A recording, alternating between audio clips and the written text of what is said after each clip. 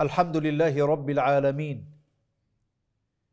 والصلاه والسلام على سيدنا ونبينا محمد وعلى اله وصحبه اجمعين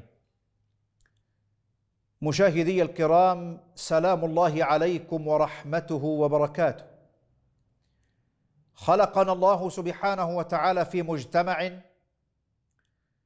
لم يخلق كل واحد في دنياه أو في مجتمع منعزل أو منفرد بذاته وبنفسه وإنما خلقنا الله سبحانه وتعالى في مجتمع نعيش مع بعضنا البعض نتعامل مع بعضنا البعض.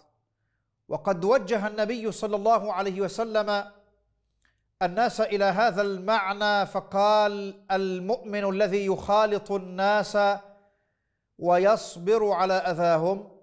خير من المؤمن الذي لا يخالط الناس ولا يصبر على أذاهم. يعني من الممكن أن يقول واحد إنني سأنعزل عن المجتمع وأعيش منفردا وغير ذلك. لو كل واحد قال هذا الكلام ما رأينا تعاملات ولا رأينا علاقات ولا رأينا صلات في المجتمع. وإنما خلقنا الله سبحانه وتعالى في هذا المجتمع لنعيش مع بعضنا البعض ونتعامل ونصبر إلى غير ذلك. الله سبحانه وتعالى جعل للجار حقوقا. نبه إليها إسلامنا. ودعانا إليها قرآننا. ودعانا إليها نبينا صلى الله عليه وسلم. قال مولانا سبحانه وتعالى وهو يعلمنا أن الإنسان لا بد وأن يكون صاحب خلق طيب قويم وهو يمدح نبينا صلى الله عليه وسلم قائلا وإنك لعلى خلق عظيم ونبينا عليه الصلاة والسلام أرشدنا إلى حقوق الجار حين قال ما زال جبريل يوصيني بالجار حتى ظننت أنه سيورثه. سيجعله من الورثة. سيجعل له نصيبا في الميراث. إلى هذه الدرجة يا رسول الله؟ نعم. إلى هذه الدرجة يصبر المسلم على جاره. يكون معه متعاونا متكافلا. يكون معه في أفراحه في أتراحه. إنما حين تسمع أن جارا حتى لا لا يلقى جاره بسلام ولا يلقي عليه السلام لا أيها الأحبة الأكارم الجيرة وحقوق الجار في الإسلام بينها مولانا سبحانه وتعالى. وأرشدنا إليها نبينا عليه الصلاة والسلام بل قال من كان يؤمن بالله واليوم الآخر فليحسن إلى جاره. هذا الإحسان ما معناه؟ أعلى درجات الأخلاقيات أعلى درجات التعاملات الطيبة فليحسن إلى جاره. بل أقسم النبي صلى الله عليه وسلم والله لا يؤمن والله لا يؤمن والله لا يؤمن. قالوا من من يا رسول الله؟ قال الذي لا يأمن جاره بوائقه. لا يأمن أذاه.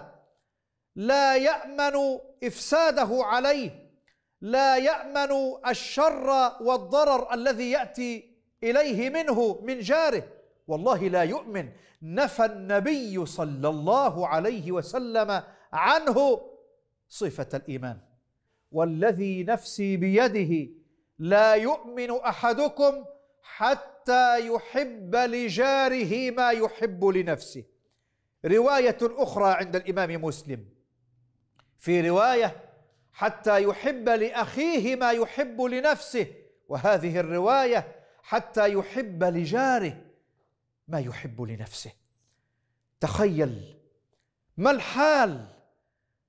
لو عاش الناس بهذه الأخلاقيات الكريمة بهذه السلوكيات الطيبة مع بعضهم البعض جيرانا وزملاء وأصحابا وأصدقاء وإخوة سنعيش في مودة ومعروف على الدوام.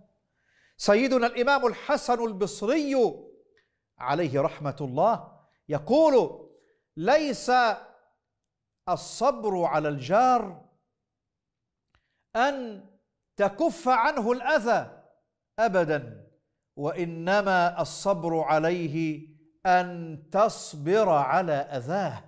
ليس من حقوق الجار أن تكف عنه أذاك فقط وإنما أن تصبر على أذاه.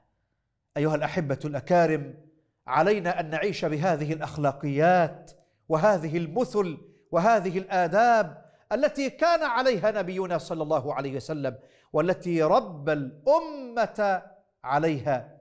هنالك لن نسمع قضايا ولا مشاكل بين الجيران لن نسمع هذا السوء ولا هذا الضر ولا هذه الأمور التي تفسد علاقات الجيران مع بعضهم البعض. أسأل الله سبحانه وتعالى أن يجعلنا من أهل المحبة والألفة والمودة بإذنه سبحانه وتعالى. وصل اللهم وسلم وبارك على سيدنا ونبينا محمد وعلى آله وصحبه أجمعين. والسلام عليكم ورحمة الله.